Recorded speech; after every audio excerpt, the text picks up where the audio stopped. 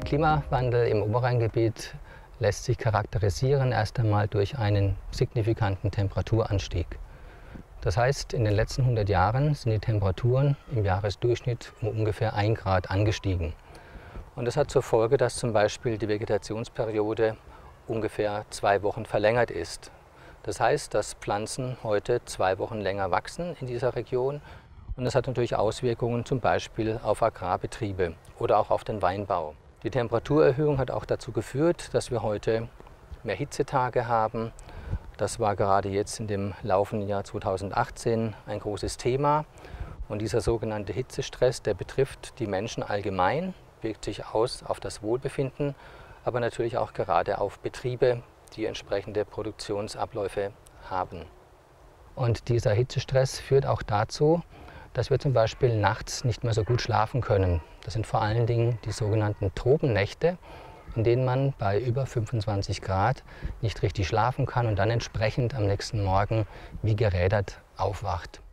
Und mit der Temperaturerhöhung geht auch einher eine Verlängerung von Dürrephasen. Und die Dürrephasen sind natürlich etwas, was die Wasserversorgung interessiert, was aber auch die Energieversorgung interessiert oder was auch Auswirkungen auf die Logistik hat. Wenn zum Beispiel der Rhein Niedrigwasser hat, dann können die Schiffe nicht mehr fahren oder können nicht mehr die volle Beladung nehmen. Die Niederschläge haben sich auch verändert, allerdings nicht in der Summe, sondern in den Niederschlagstrukturen. Da erkennen wir vor allen Dingen eine jahreszeitliche Verschiebung. Das heißt, wir haben heute mehr Niederschläge im Winter und weniger Niederschläge im Sommer. Und die Winterschläge im Winter, die führen zu einem erhöhten Hochwasserrisiko, was wiederum für die Betriebe relevant ist, die in der Nähe von Bachläufen oder an Flüssen liegen. Die geringeren Niederschläge im Sommer wiederum sind wieder wichtig für die Agrarwirtschaft und für die ähm, entsprechenden Betriebe, die eben Wasser das ganze Jahr über brauchen, auch für die Wasserversorgung insgesamt.